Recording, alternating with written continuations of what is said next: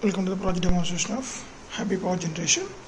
So from here we are going to generate the piezo solar and a wind setup.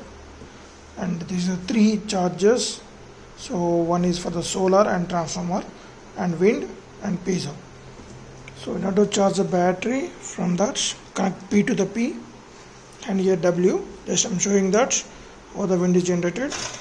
So this is the indication okay and I just connect the W to W so here we wrote W to the W and here wrote the T T to the T. So if you want to charge this battery from the transformer connect the transformer here. So if you want to charge the battery from solar so this one is a solar solar panel directly.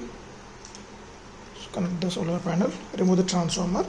In now the battery is getting charging from the three sources so if you want to charge the battery from the transformer just plug this cable and uh, switch on. You can see the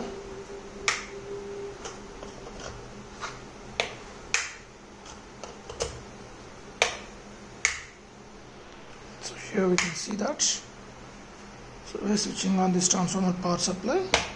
So we can charge this battery from the transformer. So just connect the solar panel. And the wind is connected here. So now we can see that. Right. When the wind rotates you can see the LED is glowing on this. And if you place the solar panel in the sunlight we can see the particular LED and the transformer is already shown and this is the main output of the inverter circuit okay? This is actually main setup of the project